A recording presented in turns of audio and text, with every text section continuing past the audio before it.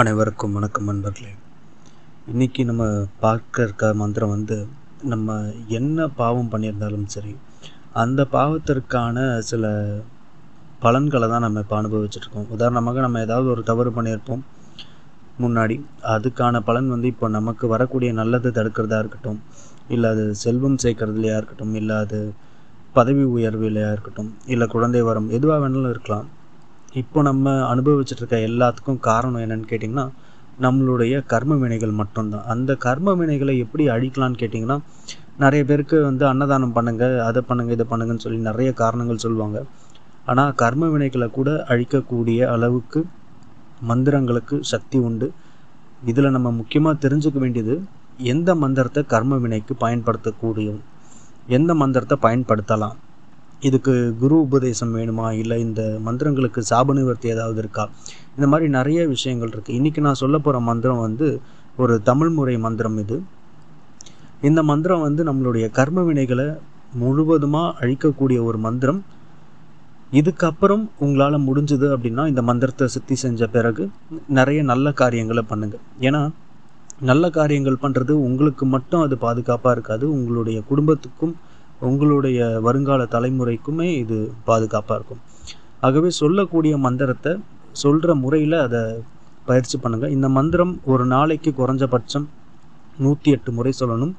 காலையிலையும் சொல்லணும் ஈவினிங்கும் சொல்லணும். அதாவது சூரியன் காலையில் உதிக்கும் போதும் இதை சொல்லணும். ஈவினிங் வந்து சூரியன் அஸ்தமனமான பிறகும் இதை சொல்லணும். கட்டாயமாக இதை சொல்லணும். முடிஞ்ச அளவுக்கு நூற்றி எட்டு சொல்லுங்கள் ரொம்ப நேரம் இருக்குது ஆயிரத்தி எட்டு கூட சொல்லலாம் அப்படின்ற பட்சத்தில் அந்த மாதிரி அன்பர்கள் ஆயிரத்தி எட்டு சொன்னால் மேலும் சிறப்பு. இந்த மந்திரம் என்னன்றது இந்த வீடியோவோட கடைசியில் இமேஜாக கொடுக்குறேன். மந்திரம் என்னன்றதை முதல்ல நான் சொல்லிடுறேன்.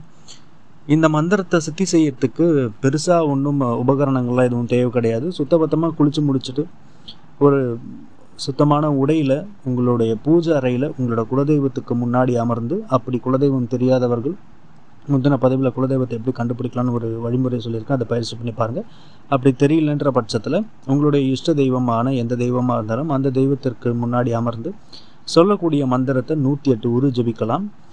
இந்த மந்திரம் சொல்லும் போது கட்டாயமாக விபூதி அணிந்திருக்க வேண்டும். நெத்தியில் பட்டையாவோ இல்லை விபூதி திருநீர் ஒரு சின்ன இதுவாகவோ நீங்கள் நெத்தியில் வச்சுட்டு தான் இந்த மந்திரத்தை சொல்லணும். விபூதி குங்குமம் இது ரெண்டுமே கட்டாயமாக வேணும். மந்திரம் என்னன்றதை சொல்கிறேன் ஓம் பூர்வ புலன்கள் சுவையாகுக தத்துவ வித்துக்கள் அரணாகுக பாரின்கோ தேவர் வசிக்கும் தீ மகிழட்டும் தீயே யோக பரஞ்சோதி ஆகும். இதான் இந்த மந்திரம். இது பாடல் முறையில் தான் வரும். ஆனால் இது பாடல் கிடையாது. இது ஒரு மந்திரம். தமிழ் முறையில் நிறைய மந்திரங்கள் பாடல் வரிகளாக தான் வரும். அதுக்காக அது பாடல்னு நினச்சிக்க வேண்டாம். இந்த ஒவ்வொரு எழுத்துக்குமே ஒரு ஒரு தனித்துவமான சக்திகள் உண்டு. ஆகவே இந்த மந்திரத்தை ஏளனமாவோ இலக்காரமாவோ இதெல்லாம் மந்திரமா இதெல்லாம் சொன்னால் செய்யுமா வேலை செய்யுமான்லாம் நினச்சிடாதீங்க. கட்டாயமாக ஒவ்வொரு தமிழ் வார்த்தைக்குமே ஒரு ஒரு அதிர்வலிகள் இருக்குது கட்டாயமாக அது வேலை செய்யும். இது தமிழ் முறையில் வழங்கப்படுகிற உண்மையான ஒரு மந்திரம். இதுவும் கருவூரார் சித்தர் அவர்களால் வழங்கப்பட்ட ஒரு தமிழ் முறை மந்திரம் தான் அத்தனை பேருமே கட்டாயமாக இதை பயிற்சி பண்ணி பாருங்கள் கண்டிப்பாக உங்களுடைய கர்ம வினைகள் என்ன பாவம் பண்ணியிருந்தாலும் சரி அது இந்த மந்திரத்தோடு கழிஞ்சிரும். தயவு செய்து முயற்சி பண்ணி பாருங்கள் உங்களால் முடிஞ்சதுன்னா இந்த பதிவை மற்றவங்களுக்கும் பகிருங்க. அவங்களும் நல்லா இருக்கட்டும். நன்றி நண்பர்களே